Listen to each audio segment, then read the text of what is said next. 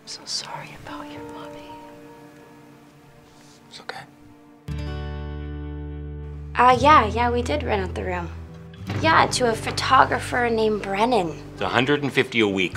And we were in a nice house here. No drugs, no overnight guests. You gotta be 2% smarter than what you're working with. Thanks for the tip.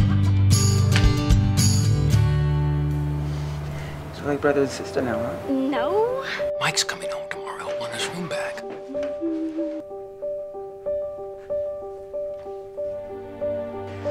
You must be Brennan. Yes. You know, this seems like a family thing. I'm gonna go find something else to do. What part of England did you say you were from? Mike, he's a really nice guy. There's something off about him, Elise.